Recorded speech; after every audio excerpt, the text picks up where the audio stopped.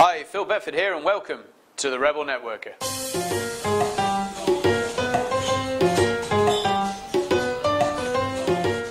This week's show, we're going to be talking about the three types of network that you can be focusing on to build a large, reliable, supportive structure that'll be driving your life and increasing the quality of it while building your business as well.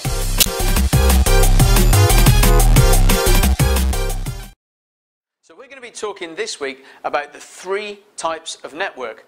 For a lot of people, all they think about when they're networking is how to get referrals, how to get more business. Some of the other key elements are actually who are in your information network. For example, when you need to know something, who do you call? Quite often when we do need information, we need it now.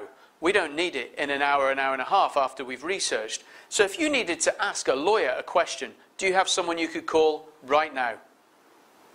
If you need to know which hotel has the best spa, do you have someone you could call right now? A lot of these people in the information network could be previous bosses, they could be people who are currently in the same field as you, people that give us information. The second area is support. Who do we go to when we need help? Now, this help could be emotional. We could just be having a bad day and we just need to, ah, we need to scream and let off stress. That's support. If you need a lift to the airport, who would you call? And by the way, I honestly believe you can check out who your real friends are because they'll give you a lift to the airport. Who else gives you support? It could be financial. This is important. And a lot of us tend to ignore this part of our network. We take it for granted.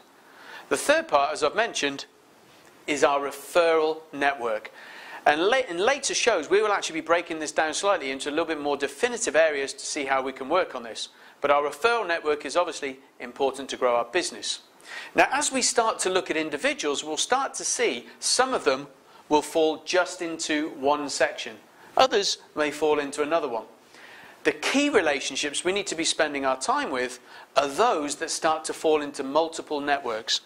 If I can find an individual, for example, who's in my information, my support, and my referral network, that would be a good individual to start spending more time with and see if I can help them grow the business so we can mutually improve the quality of our lives.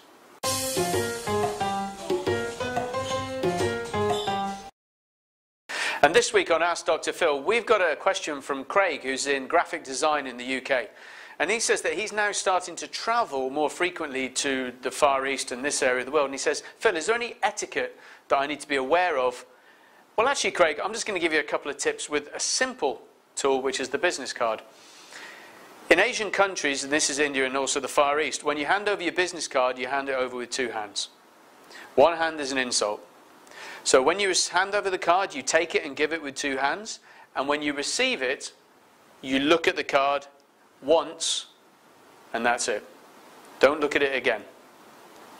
Another element would be a lot of good networkers will actually take the business card and actually write notes on there so that they can follow up at a future date. In many Asian countries, this would be an insult. So do not write on the card in front of the person. Coming up next week, some more great tips on Ask Dr. Phil.